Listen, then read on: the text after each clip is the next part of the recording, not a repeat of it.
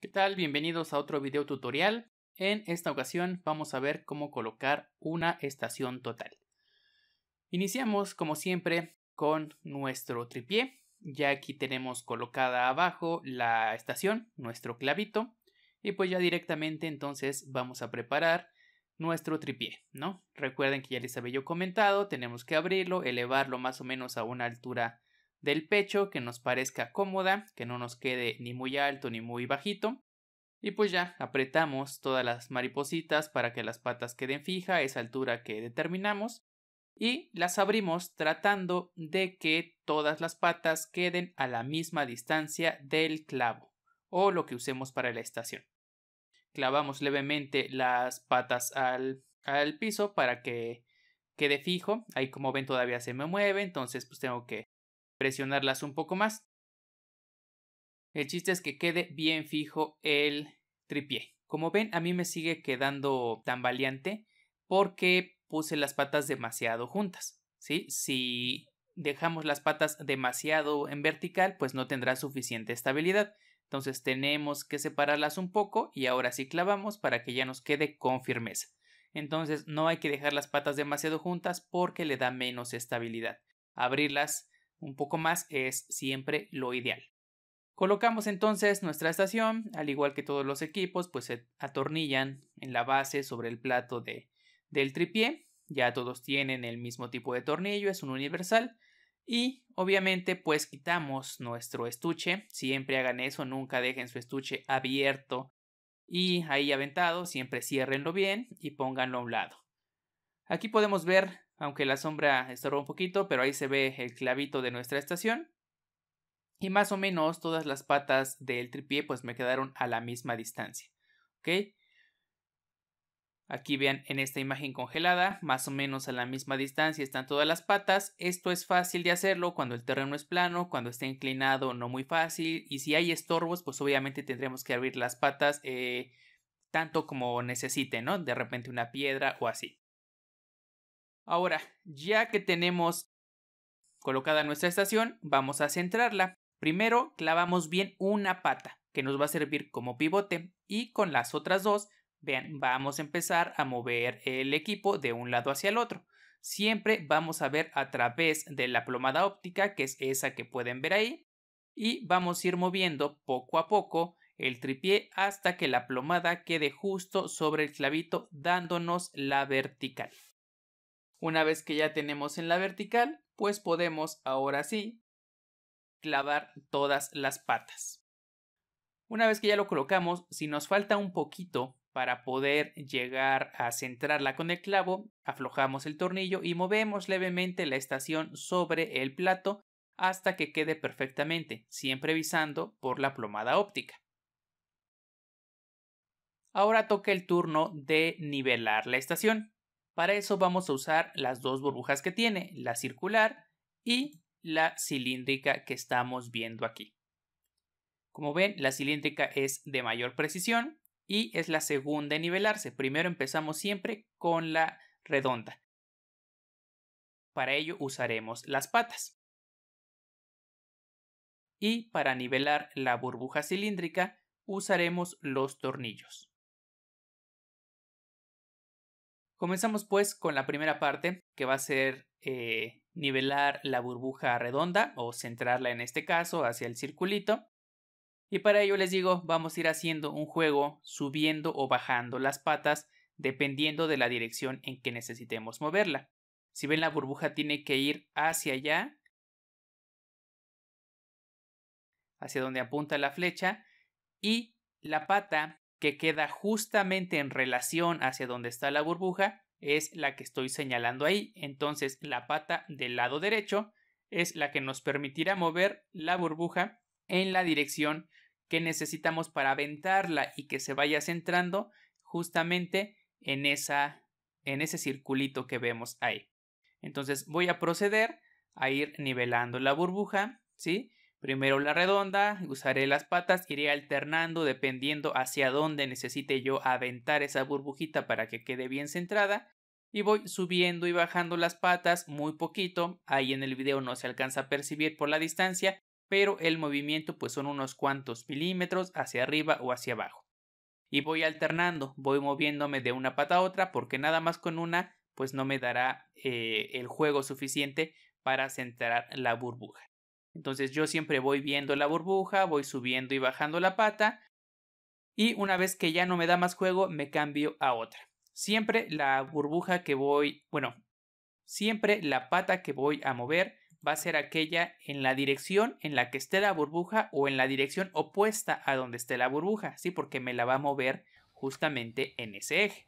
Y es ir moviéndolas una a otra, intercambiando hasta que se nos entre. ¿Sí? Ahí en el recuadrito de arriba podemos ver cómo la burbuja se movió, pero no terminó de centrarse, ¿sí? Estaba en la parte de arriba y después se movió hacia la parte izquierda. Pero ahora con una pata que quede de ese lado, puedo simplemente empujarla hasta que quede perfectamente centrada. Una vez que ya quedó centrada la burbuja redonda, sigue la burbuja cilíndrica, entonces vamos a usar los tornillos. Usaremos eh, este lado como eje, siempre usamos dos, trabajamos en pares, ¿sí? Vamos a usar esos dos y van a formar este eje. Vean, si unimos los tornillos, forman una línea recta que va paralela a la línea que estaría generando la, la burbuja. Después giraríamos 90 grados el equipo para que la burbuja se alinee con el otro eje, que es el que nos daría el tornillo que se trabaja solo. Ahorita vamos con los dos que se trabajan en par, en conjunto, y al irlos girando, pues la burbuja se va centrando. Una vez que la hayamos centrada, giramos el equipo en esta dirección. Ahora el costado del equipo está paralelo a los tornillos y el otro lado, vean, ahí está la burbuja. La burbuja tiene que centrarse, tiene que irse hacia la izquierda y justamente es hacia la izquierda donde tenemos nuestro tornillo que ya trabajaremos únicamente solo, subiéndolo, bajando o bajándolo para que se centre perfectamente esa burbuja, ¿sí? Que vean, formaría el otro eje. Un eje se forma con los dos tornillos y el otro eje se forma con el tornillo solito. Para así nivelar el aparato, pero el aparato lo debemos voltear. Aquí pueden ver que yo voy moviendo los, los eh, tornillos de, en formas opuestas, en sentidos opuestos, hasta que la burbuja queda completamente centrada.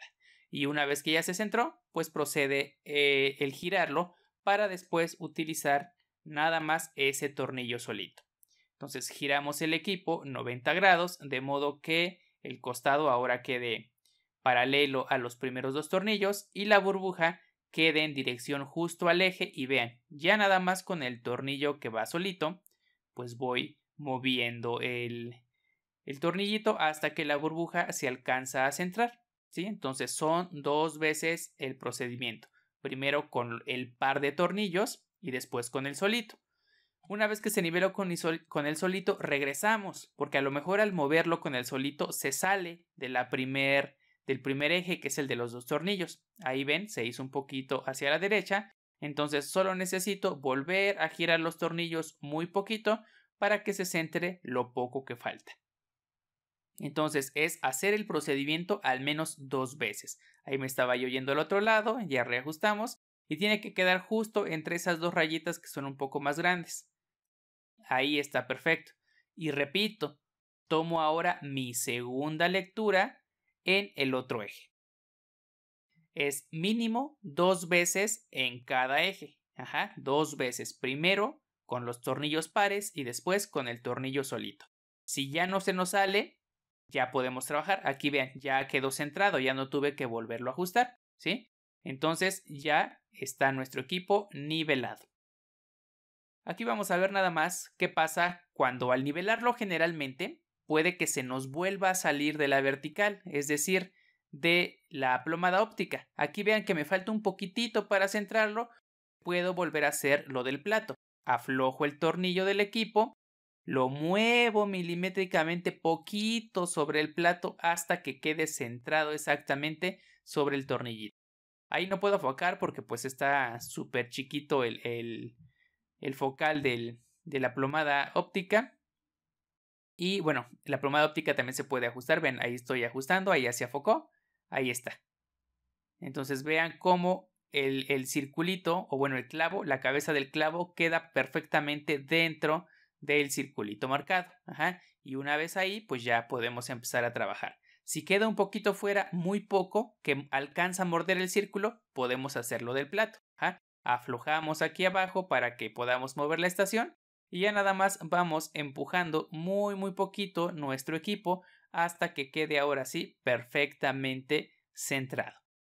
Debemos tratar de buscar la mayor precisión que podamos para que siempre nuestras lecturas nos salgan perfectas, menos sumamente precisas, porque dejarlo fuera de la vertical no solo nos movería esos pequeños milímetros, sino que el equipo en general estaría un poco inclinado.